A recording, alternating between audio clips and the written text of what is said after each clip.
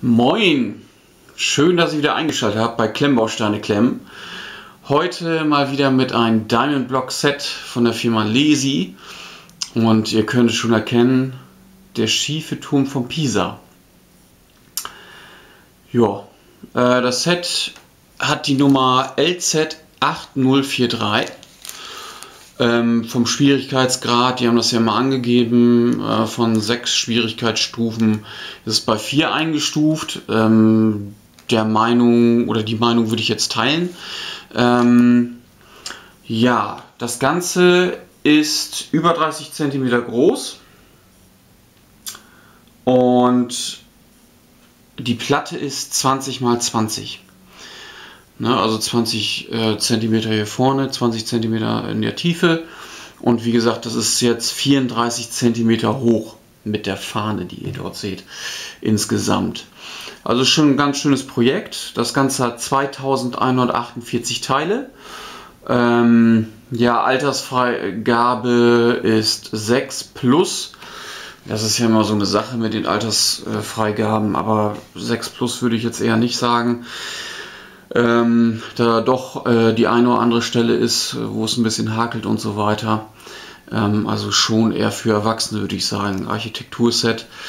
Ähm, ja, was wir dabei haben, ist einmal so ein brauchbarer, ähm, kann man das ja sehen, ist natürlich wieder, wie gesagt, keine Lego-Steine, ähm, sind Diamond Blocks, äh, dementsprechend kleiner. Ich sage es ja immer so etwa ein Viertel von so einem Lego-Stein ähm, dementsprechend.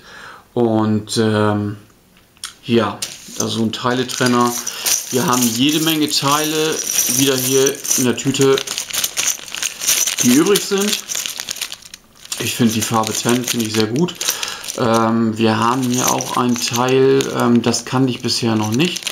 Ich, ich hole den Turm gleich näher ran, den können wir uns das mal aus der Nähe anschauen. Ähm, das ist so ein Zaunelement, das ist hier oben so drauf. Ähm, wie gesagt, ich zeige es euch gleich mal aus, aus der Nähe. Ähm, das ist neu für mich. Äh, ja, wie gesagt, jede Menge Teile. Das ist die Anleitung.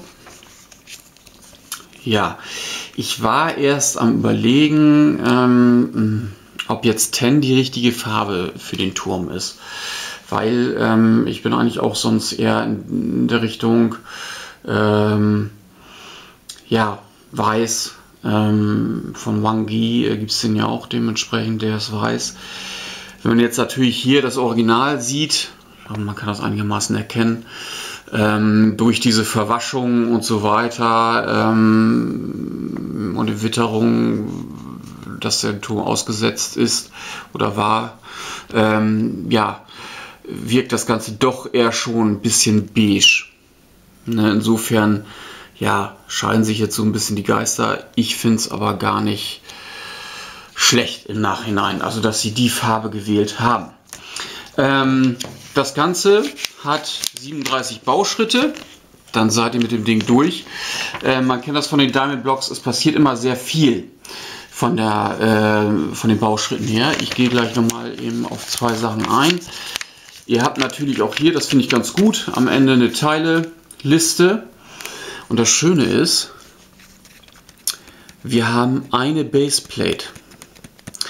Ähm, wenn wir uns erinnern an das Video, äh, was ich gemacht habe von der Harvard-Universität, äh, da waren das viele, und zwar waren das diese hier, ich meine, dass das die Größe war, ähm, die zusammengesteckt wurden, also vier von denen ergibt eben so eine große Plate und äh, dadurch, dass äh, ja, man die eben dann überfließt, dass die zusammenhängend sind, stellen die sich sehr weit hoch.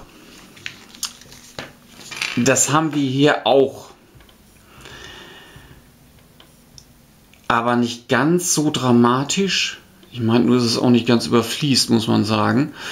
Aber nicht ganz so dramatisch, als wenn man jetzt, ähm, wie gesagt, vier Einzelplatten hätte. Also das haben die schon ganz gut gelöst. Vielleicht nehme ich euch den Turm gleich mal ab. Ähm, dann können wir uns das mal angucken. Also wie gesagt, das Grüne ist eine komplette Platte, ähm, 20 x 20. Und hätte ich bei der Harvard-Universität auch gerne gehabt, muss ich sagen. Ähm, leider, ich habe mich schon erkundigt äh, oder ähm, recherchiert. Äh, es gibt die noch nicht einzeln zu kaufen. Ähm, ich habe da äh, schon mal hingeschrieben und ähm, ja, ich weiß nicht, ob da jetzt jemand drauf reagiert oder, oder wie auch immer. Ähm, aber es wäre wünschenswert, wenn es die Platten eben auch einzeln geben würde. Ne? Und ich bin ja sonst ein Fan, wie gesagt, von anderen Herstellern, weil die richtig äh, eine dickere Platte haben, Auflage haben, ähm, die eben anders verstärkt sind. Da tut sich gar nichts. Also wir reden da ja von Balodi ähm, in der Regel. Die haben die besseren. Ich habe jetzt aber auch ein Set bekommen. Äh, PZX äh, Diamond Blocks, äh, die Firma. Ähm, die haben das ähnlich wie bei Lodi. Ähm, die haben auch so dickere Grundplatten. Da habe ich gerade die ähm, Notre Dame bekommen. Stelle ich euch natürlich auch noch vor. Das sind aber fast 8000 Teile. Da müsst ihr euch noch ein bisschen gedulden. Aber ihr könnt euch darauf freuen. Das sieht alles schon sehr gut aus. Ja, Teileliste, genau, hatten wir. Ähm, ja, so beginnt man, dass man hier den Ring baut. Im ersten Schritt, der wird auch gleich überbaut, so dass man gleich eine Richtung reinbekommt. Diese ähm, Winkel oder dass es eben diesen Kreis ergibt, haben die durch diese äh, Kreis-Vierer-Plates, habe ich jetzt mal so äh, äh, genannt, also diese, diese Runden. Da, damit ihr seht, wovon ich rede. Ähm, damit kriegen die den Winkel dann. Finde ich ganz nett.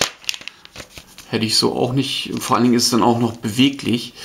Ähm, Im Grunde dann muss man natürlich dazu sagen, baut ihr immer das gleiche. Ne? Der erste Ring ist erstmal noch anders. Der ist höher. Der ist anders aufgebaut. Ist aber ja auch beim Original.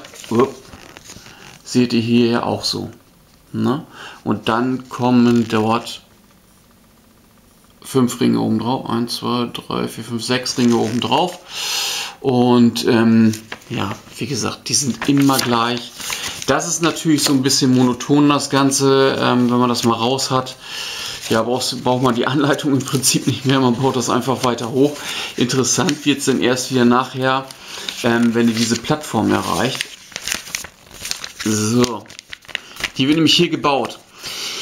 Und ihr seht auch, ähm, dort sind ganz viele äh, verschiedene Teile, auch Kleinteile, die dort mit verbaut werden. Und das war auch gar nicht so einfach. Ähm, also sich das erstmal alles so hinzulegen, muss man auch genau hingucken. Man kann hier teilweise auch diese Linienunterbrechungen schlecht erkennen. Das heißt, äh, man muss da schon genau gucken, welches Teil da gerade gefordert wird. Ja, aber ansonsten ja gar nicht, äh, gar nicht schlecht gemacht. Ähm, ähm, schließt oben gut ab. Wie gesagt, ich fahre gleich mit der Kamera einmal drüber. Ähm, ja, aber das, das ist eher so eine Stelle, sage ich jetzt mal, wo dies überbaut wurde, weil das schon eine relativ große Fläche ist. Ähm, ja, das ist so der schwierigste Part, würde ich sagen, in dem Moment. Ne? Ja, und dann kommt ja noch diese dieses kleine Türmchen oder wie auch immer kommt ja noch eben dann nach oben drauf. Da wird auch nachher wieder eine Plattform drauf gesetzt. Genau, das ist dann einfacher. Das sind nicht mehr so viele verschiedene Teile, das schnell zu erkennen, schnell umzusetzen. Ähm, und dann ist es nachher auch schon fertig. Äh, alles gut erklärt. Also ihr seht hier, wir haben hier immer die, die Teileangaben, was für Teile man eben benötigt und äh, welche Menge. Und ihr seht dann auch schon immer, ach ja, hier. Das ist übrigens, ne, könnt ihr hier schon mal sehen, dieses Zaunelement. Das kannte ich jetzt bei den Diamond Blocks noch nicht. Das war für mich neu, das Teil. Ähm, Finde ich ganz nett. Äh, genau. Ja, dann ist natürlich alles andere ausgegraut, wie man das von Lesi kennt. Also die, die Anleitungen sind einwandfrei. Also das können die besser als Balodi. Klarer Fall. So dass jeder irgendwie seine, seine Stärken und Schwächen. Und warum steht das Ding nachher schief? Das sieht man hier. Ähm, weil darunter werden dann eben noch eine Reihe Plates gesetzt. Und zum Schluss also baut man dann erst die Platte oder bebaut die Platte und man kann es hier erkennen, da wird angefangen eine Stütze zu bauen.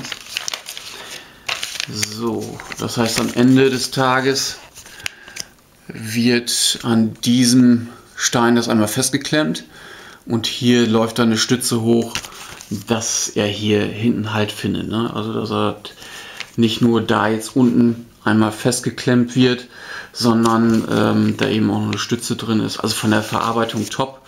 Ne, haben wir noch so ein paar nette, nett gemachte Lampen dabei, die finde ich auch gut. Ja, den Zaun finde ich jetzt nicht so gut. Ich, ich habe ihn jetzt einfach dran gelassen. Ich glaube, ich werde ihn danach abnehmen.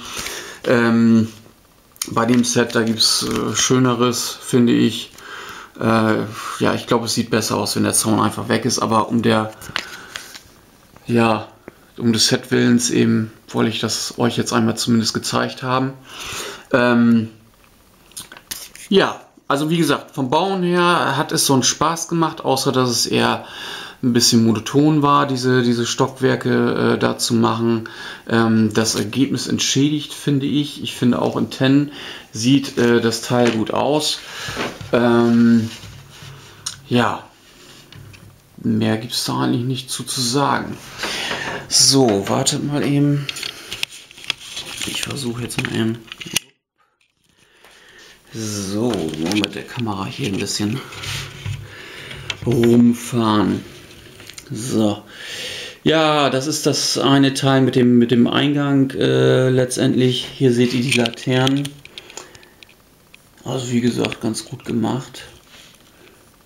Na, hier so ein Weg eben hingefließt. Ja.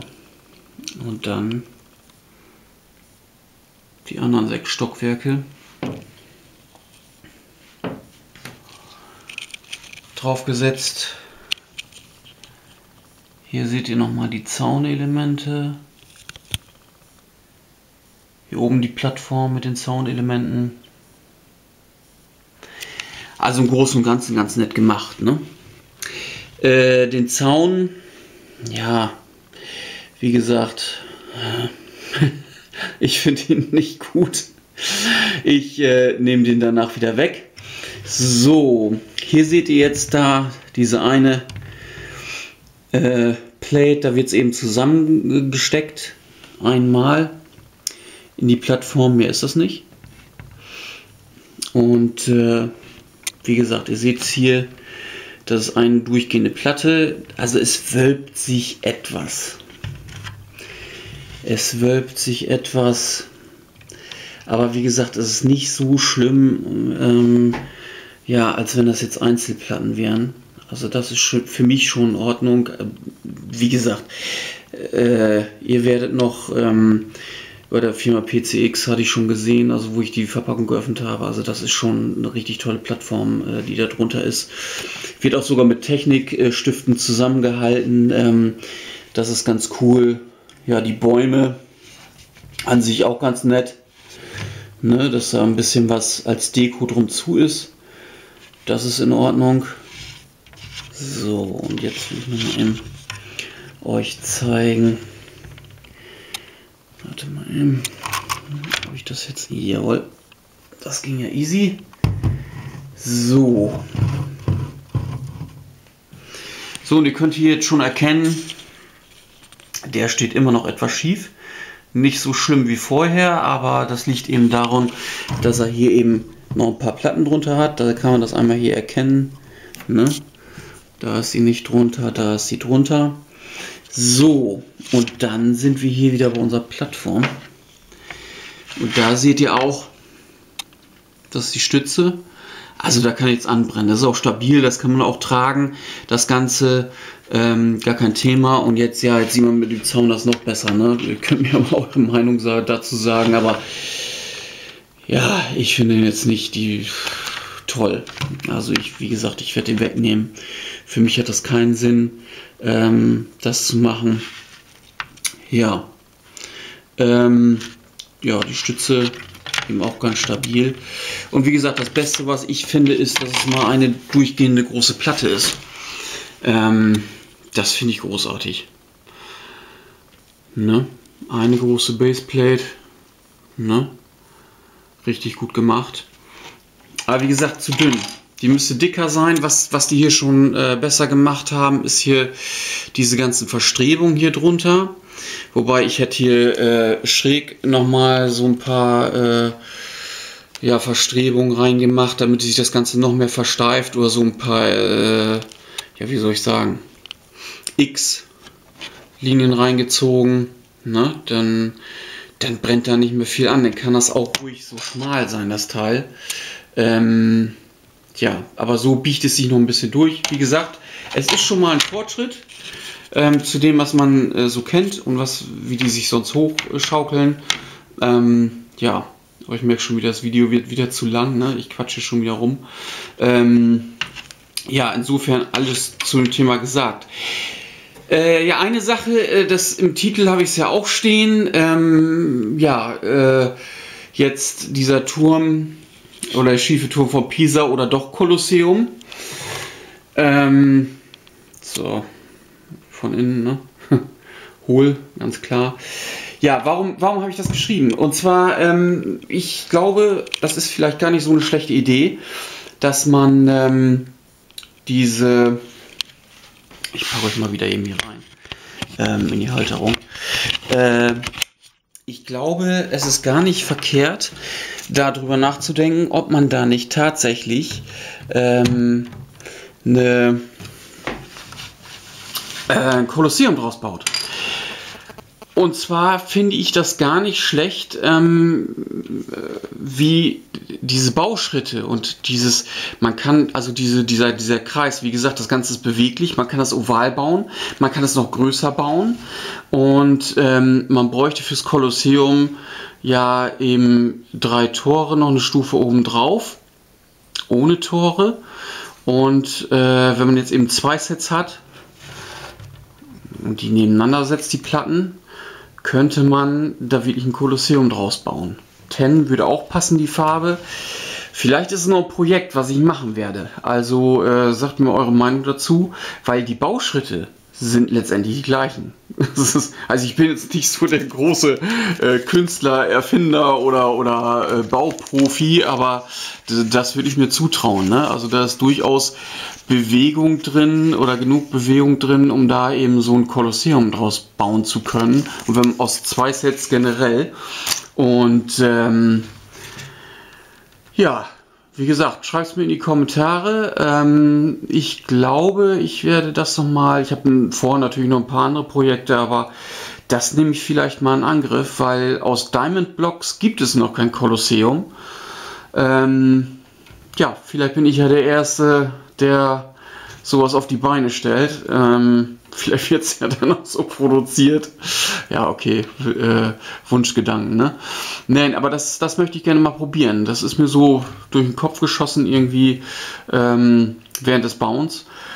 Weil, wie gesagt, dieser Winkel, ähm, den Kreis jetzt ergibt, der ist nicht vorgegeben. Ähm, da ist also durchaus Luft äh, dass man das Ganze oval bauen kann, größer ziehen kann. Wie gesagt, über zwei Platten. Ne, das ist eben 40 breit. Und äh, das ähm, würde ich gerne mal probieren. Ja, nun habe ich auch schon wieder zu viel gequatscht. Jetzt haben wir hier 20 Minuten äh, schon wieder umfasst. Also vielen, vielen Dank fürs äh, Schauen. Ach ja, ich möchte mich auch noch bedanken im Moment, äh, wo ich jetzt zu dem Zeitpunkt das Video aufgenommen habe. Äh, zwölf äh, Abonnenten. Also vielen, vielen Dank dafür. Das zeigt mir, äh, dass ihr durchaus Interesse an den Videos habt, dass ihr mehr sehen wollt. Ähm, das werde ich auch machen. Deswegen auch an die neuen oder die mich noch nicht abonniert haben. Macht es gerne. Zeigt mir, dass ihr noch mehr sehen wollt. Das hilft mir. Und ähm, ja, wie gesagt, vielen, vielen Dank.